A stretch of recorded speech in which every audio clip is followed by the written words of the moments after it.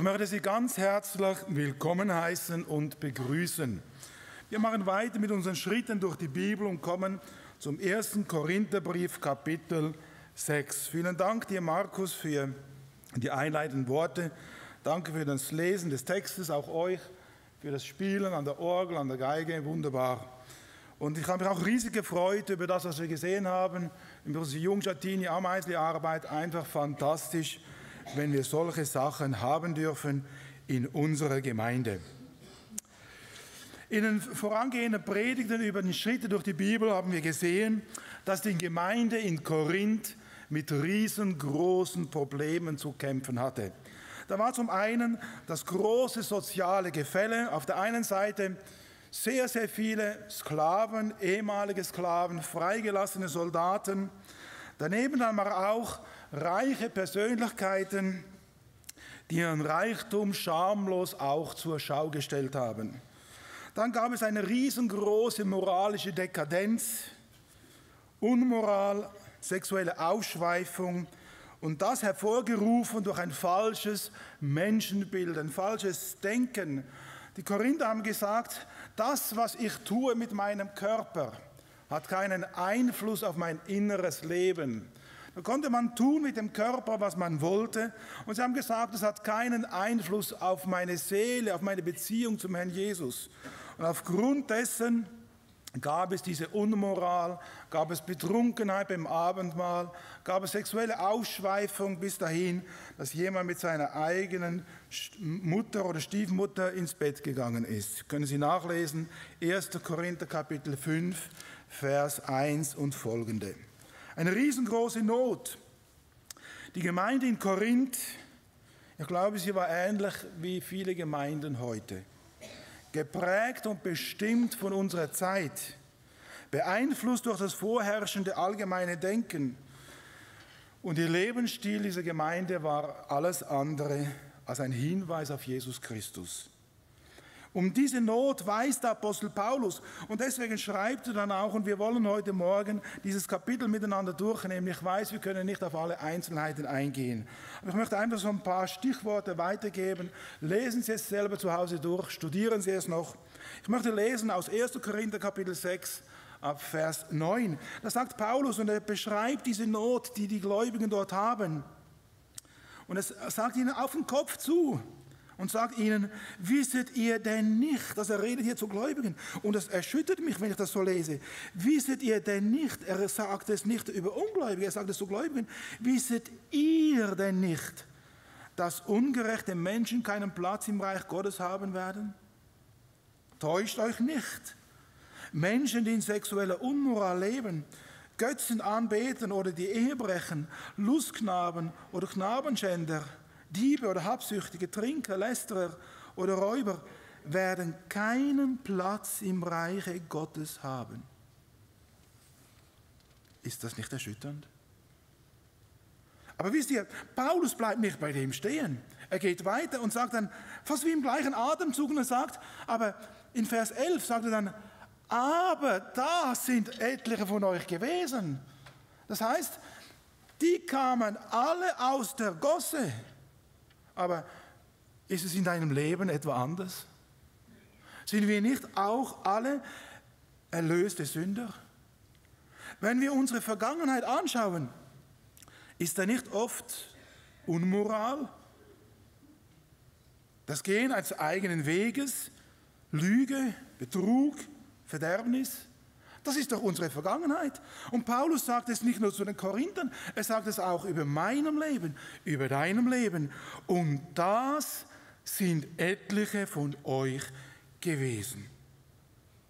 Fantastisch, in Jesus sind wir eine neue Kreatur, eine neue Schöpfung. Paulus kann sagen, ich vergesse, was dahinter liegt. Paulus war ein Mörder. Fantastisch, dass wir als Kinder Gottes eine völlig neue Schöpfung sind.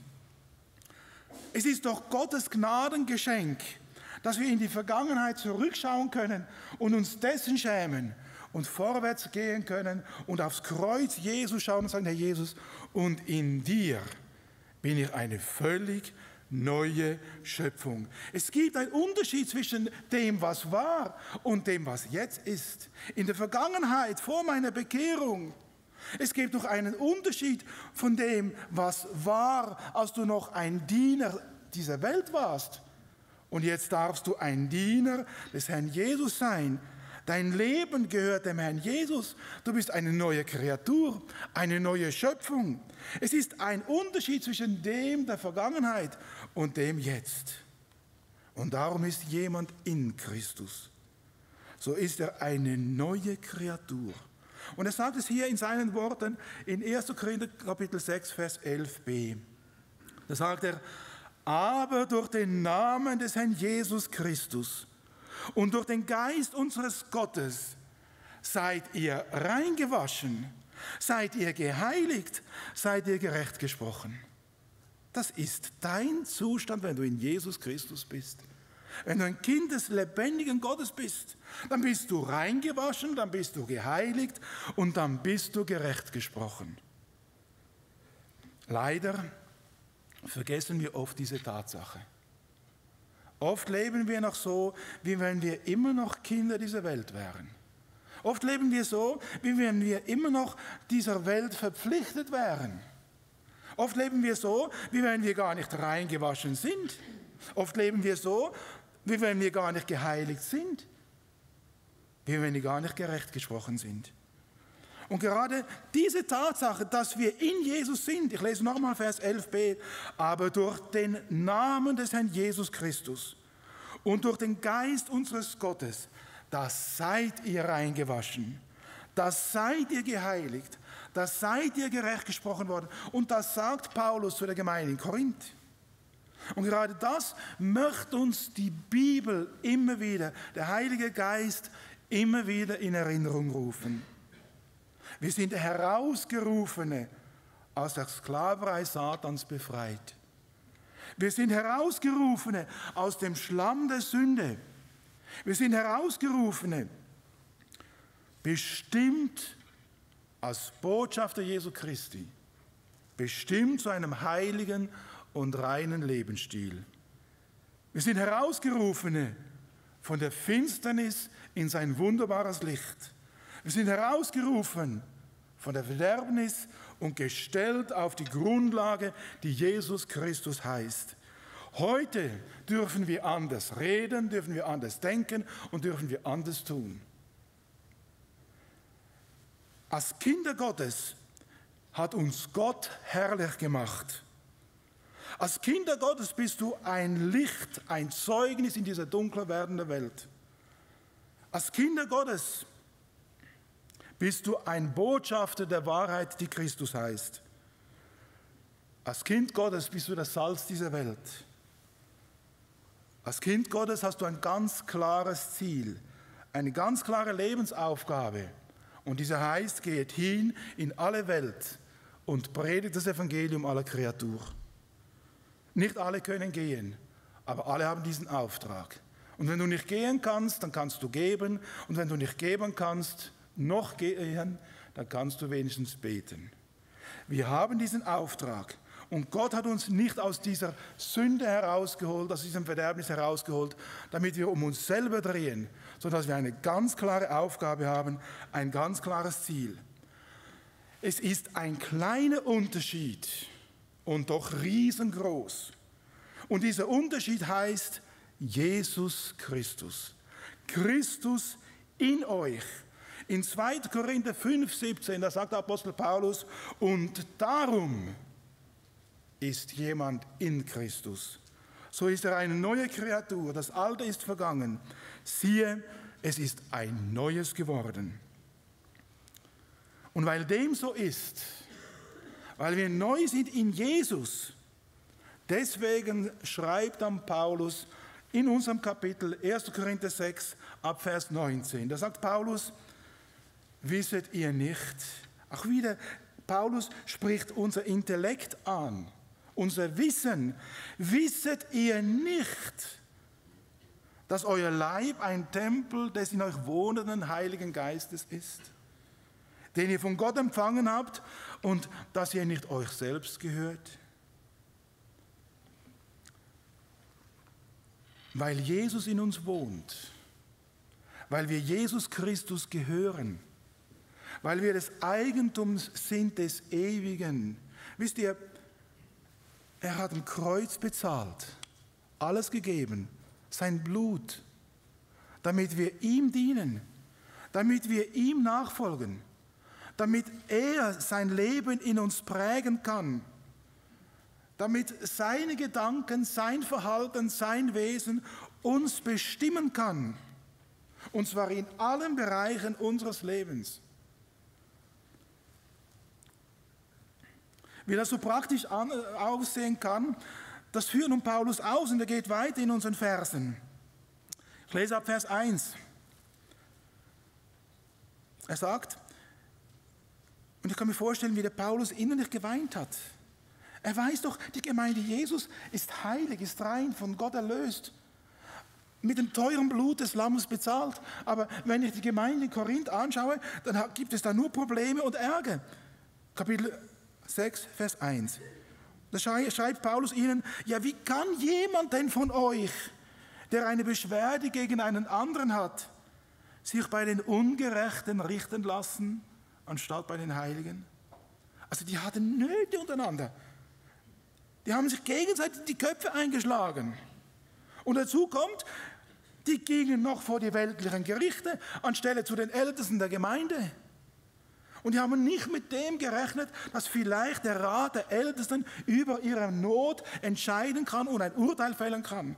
Nein, sie machen Folgendes. Wie kann denn jemand von euch, der eine Beschwerde hat, ich lese wieder ab Vers 1, wie kann denn jemand von euch, der eine Beschwerde gegen einen anderen hat, sich bei den Ungerechten richten lassen, anstatt bei den Heiligen? Wisset ihr nicht, dass die Heiligen die Welt richten werden? Wenn nun durch euch die Welt gerichtet werden soll, seid ihr dann unwürdig, über die allergeringsten Dinge zu entscheiden? Wisst ihr nicht, dass wir die Engel richten werden? Wie viel mehr die Angelegenheiten des Lebens? Darf ich dich fragen, bist du dir deiner Stellung bewusst? Sind wir in Jesus nicht mehr als Überwinder? Sind wir mit Jesus Christus nicht mehr als Sieger? Gehört nicht uns diese zukünftige Welt? Ja, der Apostel Paulus, die Bibel sagt sogar, wir werden die zukünftige Welt richten. Was für ein Adel, welche Stellung. Und doch gehen wir manchmal durch diese Welt und sind immer die ganze Zeit am Jammern, am Klagen und so weiter und so fort. Ja, die Bibel geht sogar noch weiter und sagt, wisst ihr nicht, dass ihr sogar das Urteil mitsprechen werdet über die gefallene Engelwelt? Könnt ihr euch das vorstellen? Und gleichzeitig schlägt man sich in der Gemeinde Jesus gegenseitig die Köpfe ein. Wie ist sowas möglich? Wir haben eine wunderbare Berufung erwählt aus dieser Sünde der Welt, um ihm zu dienen. Und wir verhalten uns so, wie wenn wir noch in der Gosse wären. Wir haben eine unglaubliche Berufung. Und ich lese eine andere Stelle. In Galater 5, Vers 15. Können Sie gerne aufschlagen. Galater 5, Vers 15. Und da beschreibt Paulus genau das Gleiche in einer anderen Gemeinde, was passiert in der Gemeinde von Korinth. Da waren Gläubige, zwar berufen, auf die Grundlage der Erlösung gestellt. Aber untereinander sagt Paulus, ich lese vor, Galater 5, Vers 15, wenn ihr aber euch untereinander beißet und fresset, so sehet zu, dass ihr nicht einander auffresset oder voneinander verzehrt werdet. Also mir kommt es so vor, wie wenn hier der Apostel Paulus von einem zoologischen Garten erzählt und nicht von der Gemeinde Jesu. Ihr beißet, ihr fresset und schaut zu, dass ihr nicht voneinander verzehrt werdet. Und ich sage das zu mir, bin ich ein Friedensstifter? Bin ich jemand, der mithilft, damit unsere Gemeinde gelingt, dass es funktioniert? Nicht, dass man immer auf dem Mund sitzen muss, aber wenn man was sagt, dann nur zum Besten der Gemeinde, zur Verherrlichung des Namens Jesu und zum Wohl dessen, den man ansprechen muss. Wir haben eine herrliche Stellung. Und gleichzeitig scheint unsere Gemeinde ein Schlachtfeld zu sein. Da wird gebissen, rumgetreten. Und da sagt Paulus, ich komme wieder zurück, in 1. Korinther 6, ab Vers 5. Da sagt Paulus zu dieser Gemeinde, Ihr solltet euch schämen, ab Vers 5, ich lese es nach der neuen evangelistischen Übersetzung. Ihr solltet euch schämen. Gibt es denn keinen unter euch, der weise genug ist, um ein unparteiisches Urteil zwischen Brüdern fällen zu können? Stattdessen zieht ein Bruder den anderen vor Gericht und das vor Ungläubigen. Ist es nicht schon schlimm genug, dass ihr überhaupt Rechtshändler miteinander austragt? Warum lasst ihr euch nicht lieber Unrecht tun? Warum lasst ihr euch nicht lieber benachteiligen? Stattdessen tut ihr selbst Unrecht und benachteiligt andere und das unter Brüdern. Was für ein Jammer, wenn das Licht fahl wird. Was für eine Tragik, wenn Salz die Kraft verliert. Was für eine Schande, wenn Heiligkeit zur Sünde verkommt. Die Gemeinde Jesus sollte es anders machen. Und doch, sie gehen miteinander vor Gericht, sie schlagen sich die Köpfe ein, sie suchen den eigenen Vorteil. Um alles in der Welt müssen sie immer Recht haben. Und da kommt wieder dieses mahnende Wort des Paulus, der Bibel in den Sinn, wo Paulus sagt, Vers 9a, wisset ihr nicht, dass Ungerechte das Reich Gottes nicht erben werden? Was für ein Urteil. Wir, wir sollten doch eigentlich Botschaft an Jesus Stadt sein. Aber nein, wir schlagen uns gegenseitig die Köpfe ein. Wir sollten das helle Licht tragen, aber wir verbreiten Finsternis. Wisst ihr, es gibt hier einen kleinen Unterschied und der könnte nicht größer sein. Jesus hat es ganz anders gemacht. Ich lese dazu und bitte schlagen Sie auf 1. Petrus 2 ab Vers 19. 1. Petrus 2 ab Vers 19. Wie dieser Petrus, wie er uns mit hineinnimmt und uns Jesus vor Augen malt und uns sagt, schau mal, Jesus, wie hat er sich verhalten? Zuerst sagt er in Vers 19, es ist nämlich eine Gnade Gottes, wenn jemand Kränkung ertragen kann und unschuldig leidet, weil er in seinem Gewissen an Gott gebunden ist. Denn was wäre das für ein Ruhm, wenn ihr wegen einer Verfehlung Misshandlungen ertragt? Oder es ist ein Segen für mich persönlich und auch für meine Umgebung, wenn ich um Jesu willen Kränkungen ertragen kann und um Jesu willen unschuldig leide. Es ist ganz was anderes, wenn ich selber schuld bin. Paulus, äh, Petrus geht dann weiter und sagt dann in Vers 20, wenn ihr aber Gutes tut und dafür leiden müsst, dann ist das eine Gnade vor Gott. Denn genau dazu seid ihr berufen worden. Wow. Nichts mit Wohlstandsevangelium. Ihr seid berufen, sagt er hier, wenn ihr aber das Gute tut und dafür leiden müsst, dann ist das eine Gnade vor Gott, denn dazu seid ihr berufen worden. Und jetzt zieht der Petrus eine Parallele und schickt das Licht des Scheinwerfers auf Jesus Christus und sagt dann, denn auch Christus, in Vers 21, denn auch Christus hat für euch gelitten und euch ein Beispiel gegeben, damit ihr seinen Fußspuren folgt. Er hat keine Sünde begangen und ist kein unwahres Wort je über seine Lippen gekommen. Und was tat Jesus dann? Als er beleidigt wurde, schimpfte er nicht zurück. Als er litt, drohte er nicht mit Vergeltung. In Vers 23. Nein, er überließ seine Sache dem, der da gerecht richtet. Tun wir das auch? Wenn wir beleidigt werden, wenn wir beschimpft werden, wenn wir leiden, überlassen wir dann alles Gott und seine Sache? Und genau zu dem sind wir aufgerufen. Dieser kleine Unterschied zwischen der Gemeinde in Korinth und dem, was Jesus tat, könnte größer nicht sein. Die Gemeinde in Korinth schlagen sich gegenseitig die Köpfe ein Und Jesus schweigt, als er zu Unrecht angeklagt wird. Als Herr Jesus litt, da drohte er nicht mit Vergeltung. Als Jesus angespuckt wurde, da sagte er, Vater, vergib, denn sie wissen nicht, was sie tun. Ja, er schmähte nicht, als er geschmäht wurde. Er drohte nicht, weil er leiden musste. Nein, er stellt es dem anheim, der gerecht richtet.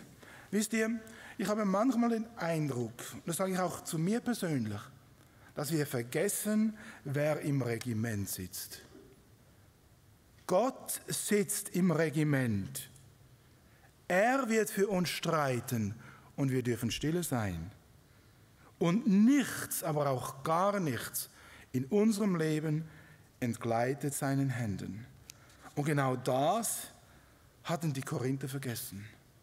Sie drehten nur noch um sich selber, um ihr Wohlfühlevangelium, um ihren geistlichen Bauchnabel, der ich hieß.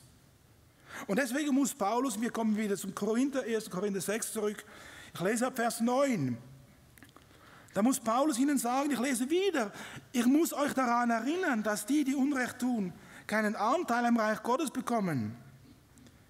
Dem Erbe, das Gott für uns bereithält. Macht euch nichts vor. Keiner, der ein unmoralisches Leben führt, Götzen anbetet, die Ehe bricht, homosexuelle Beziehungen eingeht, stiehlt, geldgierig ist, trinkt, Verleumdungen verbreitet oder andere beraubt, wird an Gottes Reich teilhaben. Paulus muss ihnen sagen, ich muss euch daran erinnern. Dieses Erinnern weist uns auf ein Naturgesetz hin. Warum war die Gemeinde in Korinth so in desolatem Zustand? Warum ging es so drunter und drüber? Weil sie in Sünde lebten, weil Unmoral da war. Verleumdung, Geldgier, Diebstahl. Und deswegen hatten sie Streit. Sie haben den Maßstab der Bibel, Gottes Wort, außer Acht gelassen, links liegen gelassen. Und deswegen gingen sie miteinander vor Gericht. Sie kannten die Bibel, sie waren wiedergeboren, aber sie taten nicht das, was die Bibel sagt. Und deswegen war in ihrem privaten wie Gemeindeleben ein riesiges Durcheinander. Und Paulus, er geht dann weiter, er muss das alles aufzeigen und sagen, schaut einmal, so sieht es leider bei euch aus. Und noch einmal Vers 11, und er weist uns wieder darauf hin, vergesst nicht dieser kleine Unterschied, was ihr wart und was ihr jetzt seid. Und deswegen lege ich noch einmal Vers 11, auch ihr gehörte zu denen, die so lebten und sich so verhielten. Aber das, sagt er dann, das ist jetzt Vergangenheit. Wenn du ein Kind Gottes bist, dann lebe bitte auch einen anderen Lebensstil. Wenn du ein Kind Gottes bist, erinnere dich täglich daran, wem du gehörst. Ich habe es dir schon einige Male gesagt hier auf der Kanzel. Am Morgen, wenn du aufstehst, steh mit dem Herrn Jesus auf. Ganz bewusst, Herr Jesus, ich brauche dich. Ich brauche dich in meinen Worten, in meinen Gedanken, in meinen Gefühlen, in meinen Trieben. Ich brauche dich in allem. Du kennst meine Hormonschwankungen, du kennst alles, Herr Jesus, ich brauche dich. Ohne dich geht es nicht. Wie oft und wie schnell überfahre ich einen Menschen mit meinen Worten, Herr Jesus, ich brauche dich. Werde dir wieder bewusst, dass du nicht einem sündigen Lebensstil verpflichtet bist. Als Kind Gottes bist du nicht dem Teufel zu Gehorsam verpflichtet. Als Kind Gottes bist du kein Spielball mehr deiner Triebe. Du musst die Befehle des Teufels nicht mehr ausüben. Er kann es auch noch befehlen, aber du bist mit dem Herrn Jesus gekreuzigt. Du bist eine neue Kreatur. Du bist nicht mehr ein Handlanger des Feindes, um seine Intrigen, Verleumdungen und so weiter im Leben umzusetzen. Du gehörst Jesus. Als Kind Gottes bist du befreit. Ich juble, ich freue mich, ich bin befreit, ich muss nicht mehr. Ich darf Jesus folgen. Ich darf ihm dienen. Und deswegen kommt Paulus und sagt dann in Vers 12, und er sagt, alles ist mir erlaubt, Ich stehe in der Freiheit. Aber dann Paulus sagt und grenzt es gleich ein und sagt, aber nicht alles ist förderlich. Ich muss nicht mehr. Ich muss nicht mehr sklavisch dem Teufel dienen. Früher musste ich. Er hat gesagt, tue, tue, tue. Und ich war so wie ein Pinocchio, der immer so hin und her gemacht hat. Aber heute darf ich in den Seilen der Liebe Jesus unterwegs sein. Ich stehe in der Freiheit, weil Jesus mich erlöst hat. Und ich habe heute die Freiheit, mich entscheiden zu können. Und früher hatte ich das nicht. Ich habe die genau gleiche Freiheit wie damals im Paradies. Ich habe die Freiheit, diese Freiheit wurde mir wieder geschenkt durch die Wiedergeburt. Ich kann mich entscheiden. Ich kann sagen, ja, Herr Jesus, ich will dir dienen. Und ich kann aber auch sagen, nein, ich will doch im Schmutz der Sünde bleiben. Ich habe diese Freiheit. Und deswegen sagt Paulus, ich habe die Freiheit, aber nicht alles nützt.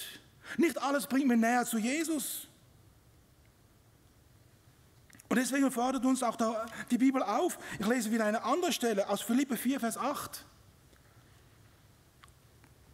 Ich habe die Freiheit, mich entscheiden zu können, zu sagen, ich will mit Jesus gehen. Ich will ganz klar und entschieden ihm nachfolgen. Und deswegen sagt Paulus in Philippe 4, Vers 8, es ist Gottes Wort, das uns das zuruft und sagt, denkt über das nach, meine Geschwister. Also wir sollen das, über das nachdenken. Wir haben die Freiheit. Denkt über das nach, meine Geschwister, was wahr ist, was anständig und gerecht. Richtet eure Gedanken auf das Reine, das Liebenswerte, das Bewundernswürdige, auf alles, was Auszeichnung und Lob verdient. Merkt ihr diesen kleinen Unterschied zwischen vorher und jetzt? Vorher war ich in der Gosse der Sünde.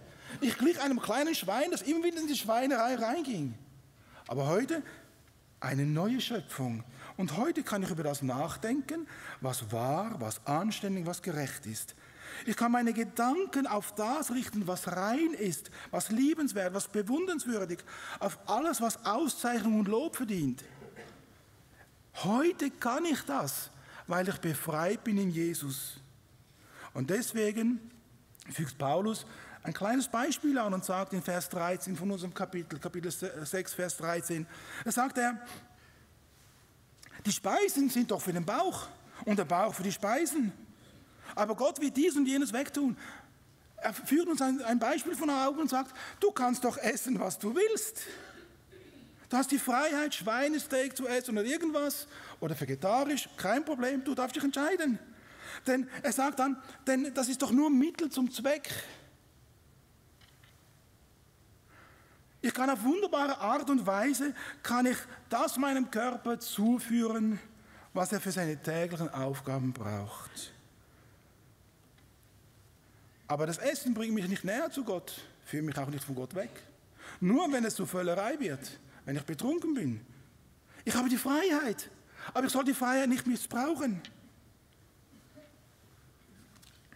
Und nun kommt Paulus und schlägt eine Brücke.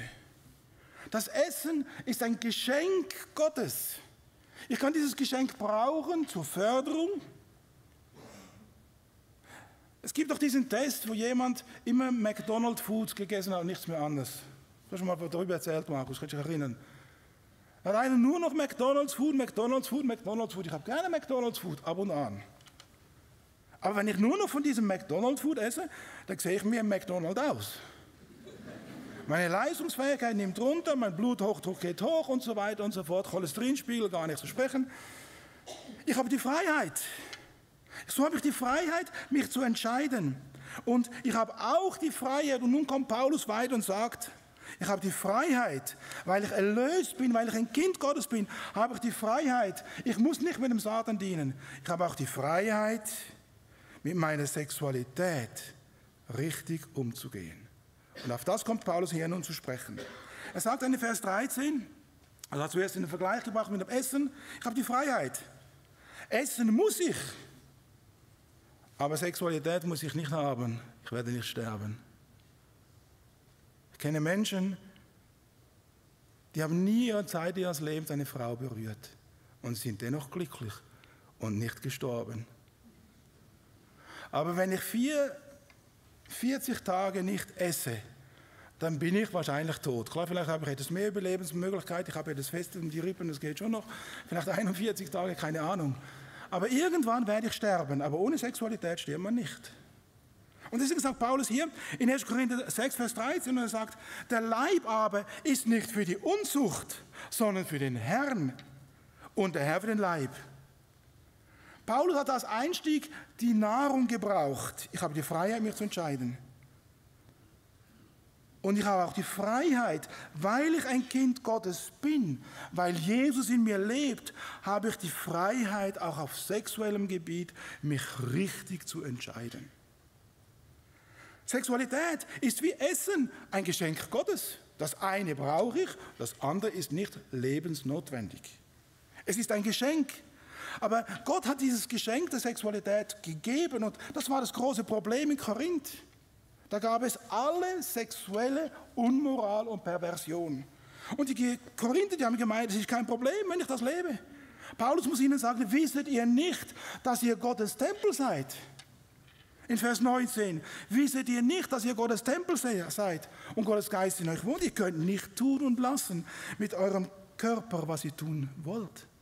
Sexualität ist ein Geschenk, das Gott gegeben hat in eine lebenslängliche Beziehung zwischen einem Mann und einer Frau, die Ehe heißt, diese Beziehung. Und in dieser Beziehung soll Sexualität ein Teil sein, um sich gegenseitig zu erfreuen, sich zu verschenken, sich immer wieder anzunehmen und auch durch gelebte Sexualität Leben zu schenken. Dem Teufel ist es gelungen, dieses Gottesgeschenk aufs Schlimmste zu pervertieren. Und genau das war die Not auch in Korinth. Und das hatte angefangen in ihrem verkehrten Denken. Heute wird gesagt, es ist alles normal. Stimmt nicht, die Bibel sagt was anderes.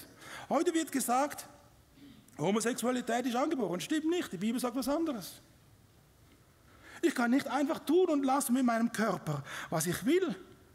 Die Korinther in Gemeinde Korinth haben gesagt, das, was ich tue mit meinem Körper, beeinflusst nicht mein inneres Christsein. Stimmt nicht, falsches Denken. Und deswegen sagt die Bibel, dass wir uns verändern sollen. In Römer Kapitel 12, glaube Vers 2 ist es, dass wir uns verändern sollen durch die Veränderung unseres Denkens. Wir sollen wieder anfangen, nicht weltlich zu denken, sondern biblisch. Wir sollen anfangen, wieder so uns zu verhalten, wie die Bibel es sagt und nicht wie wir es heute schon lernen im Kindergarten, weiter, Grundschule und so weiter. Da wird alles gesagt, aber es wird nichts gesagt von dem, was die Bibel uns lehrt. Die Gemeinde Korinth ging so weit mit ihrer Trennung von Körper und Geist. Sie konnten auf dem Weg zum Gottesdienst, konnten sie noch eine Tempeldirne aufsuchen. In Korinth gab es diesen Tempel der Aphrodite mit über 1000 Tempeldirnen. Die kamen jeden Abend, kamen die Stadt runter und haben ihre Dienste angeboten. Das war ein Teil ihres Gottesdienstes. Aber völlig verkehrt, völlig falsch und nicht dem Wort Gottes entsprechend. Darum sagt Paulus, und er erinnert auch uns daran, er erinnert mich daran. In Vers 19 lese ich noch einmal. Wisset ihr nicht, dass euer Leib ein Tempel des in euch wohnenden Heiligen Geistes ist, den ihr von Gott empfangen und dass ihr euch nicht selbst gehört? Als Kinder Gottes, wir gehören dem Herrn Jesus. Ich gehöre nicht mehr mir. Dass man lernen muss, mit Sexualität umgehen, ist was ganz anderes. Ich sage immer zwei jungen Menschen, die sich kennenlernen, ihr beide habt einen Tiger im Tank. Aber lasst diesen Tiger noch darin, bis ihr verheiratet seid, dann könnt ihr ihn rauslassen. Weil wenn man den Tiger zu viel zu fressen gibt, dann nimmt die ganze Hand, nein, nicht die ganze Hand, nein, den ganzen Körper. Und deswegen lernt mit dem umzugehen. Und selbst wenn man alleine ist, verheiratet ist, lernt mit dem umzugehen. Da kommen Menschen zu mir in die Seelsorge, die sind über 70 Jahre alt und die haben immer noch Probleme mit Sexualität. Wir werden das haben, ich selbst auch, bis ich die Nägel höre vom Sarg. Ja, das ist normal. Ich bin ein Mensch aus Fleisch und Blut, habe Hormone. Aber ich darf lernen, das, was Paulus sagt, wer dem Herrn anhängt, der ist ein Geist mit ihm, Vers 17. Ich bin mit ihm verbunden, ich darf es lernen.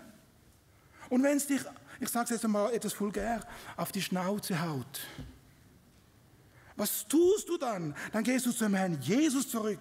In 1. Johannes 1, Vers 9, da heißt es, wenn wir aber unsere Sünden bekennen, so ist er treu und gerecht, dass er uns die Sünden vergibt und reinigt uns von all unserer Untugend. Wir dürfen lernen, mit dem umzugehen.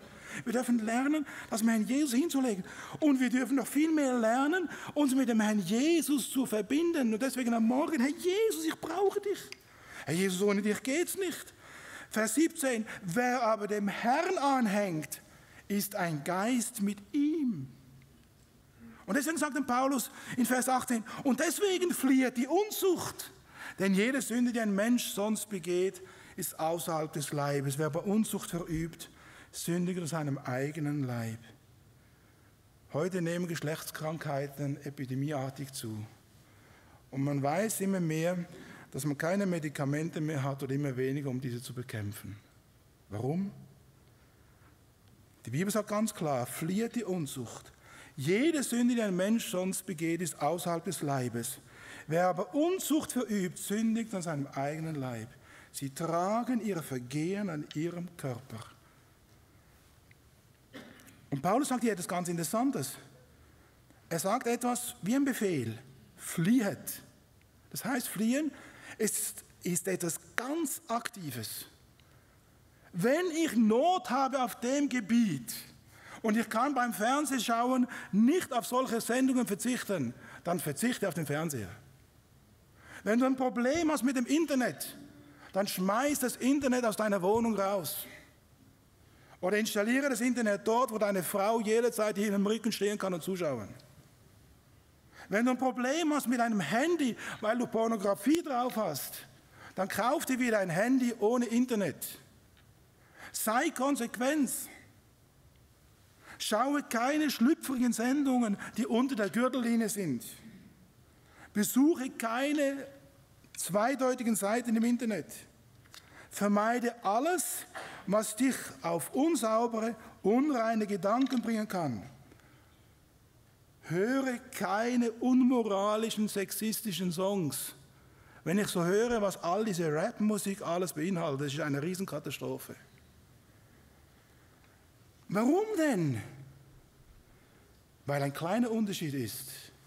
Früher gehörte ich in den Schlamm und heute gehöre ich Jesus. Früher war ich der Sünde verpflichtet, heute diene ich dem Herrn Jesus. Und deswegen sagt Paulus dann in Vers 20, sagt er, in 1. Korinther 6, Vers 20, denn ihr seid teuer erkauft. Und darum verherrlicht Gott in eurem Leibe und in eurem Geist, die Gott gehören. Und wisst ihr, das ist ein Übungsfeld, das geht das ganze Leben lang. Und so dürfen wir uns einander Mut machen. Komm, wir gehen miteinander mit dem Herrn Jesus. Keiner ist besser, keiner ist schlechter.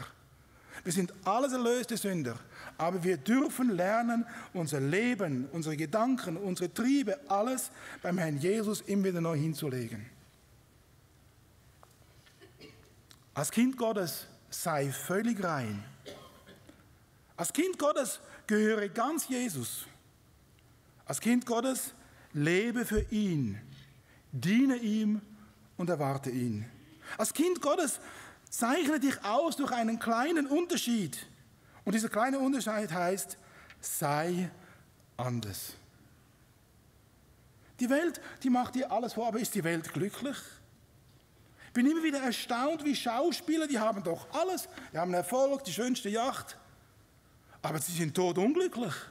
Immer wieder was Neues im Kaufrausch, sie gehen in Shopping rein und wenn sie nicht die Tasche kriegen, die sie genau wollen, das gehen sie beleidigt wieder raus. Paulus sagt uns etwas ganz anderes, die Bibel sagt uns etwas ganz anderes. Wir müssen nicht einem Schauspieler hinternach hinken. Wir müssen nicht dieses oder jenes tun, damit wir in sind. Wir sind in. Wir sind viel mehr in als die ganze Welt. Weil wir dem Herrn Jesus sind, wir sind in Jesus. Und deswegen heißt es da, Paulus sagt es in Epheser 5, ich lese ab Vers 1. Epheser 5 ab Vers 1. Da sagt Paulus, werdet also Nachahmer Gottes Ihr seid doch seine geliebten Kinder. Ich lese es nach der neuen evangelistischen Übersetzung. Werdet also Nachahmer Gottes. Ihr seid doch seine geliebten Kinder. Ich freue mich immer, wenn so kleine Kniehopse kommen und sagen, ich möchte so sein wie Papa, ich möchte so sein wie Papa. Fantastisch. Aber wisst ihr auch, dass wir Gottes Kinder sind? Und wenn du wirklich ein Kind Gottes bist, dann hast du doch einen tiefen, sehnlichen Wunsch. Ich möchte sein wie Jesus. Es gibt ein Lied, ich möchte sein wie Jesus, wie Jesus möchte ich sein. Gibt es doch noch, oder?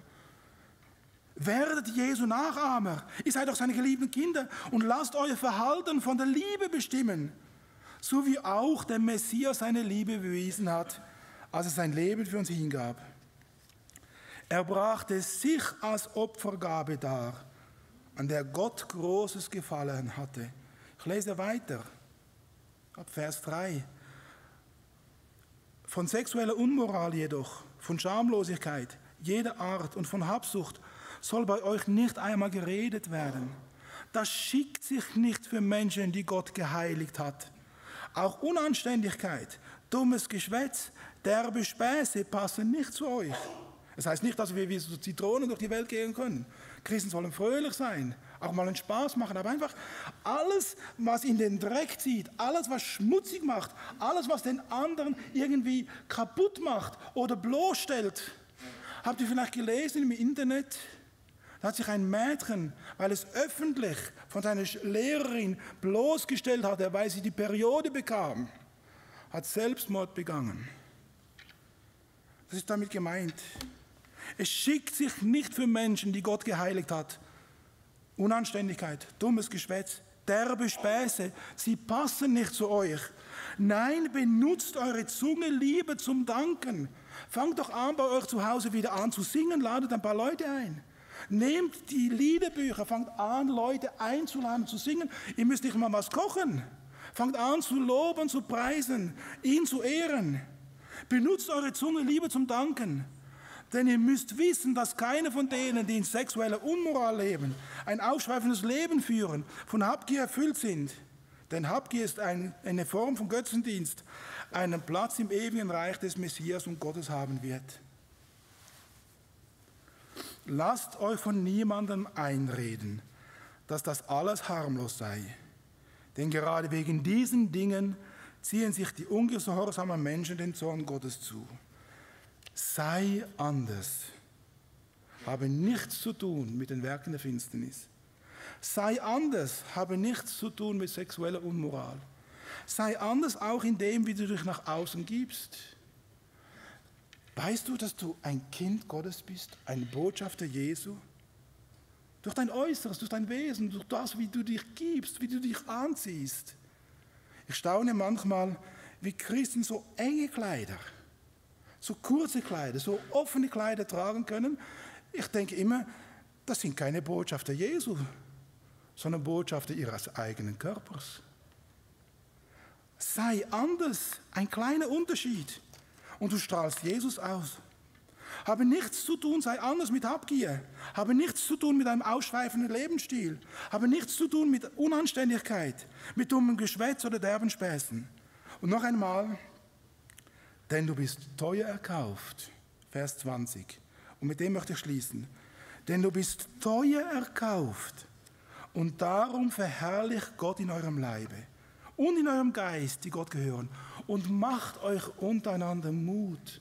Auch als Jugendliche macht euch Mut. Komm, wir wollen mit Jesus gehen. Wir wollen eine saubere Sache. Wir wollen Klarheit. Wir wollen, dass in uns Jesus Christus gesehen wird. Wir brauchen das in dieser immer dunkler werdenden Welt. Klare Boten Jesu Christi. Mögen Herr Jesus Ihnen und uns Gnade schenken. Amen. Lass uns stille werden und beten. Herr Jesus, danke dafür, dass du uns einlädst, einfach ganz eng mit dir verbunden zu sein. Bei dir, Jesus, will ich bleiben, stets auf deinen Wegen gehen. Nichts soll mich von dir vertreiben. O Herr Jesus, das ist mein Wunsch. Es ist auch unser Wunsch. Und danke dafür, dass du bei allem Wollen auch das Gelingen schenkst, bei aller Schwachheit immer wieder Vergebung und dass du uns immer wieder einlädst und sagst, kommet her zu mir.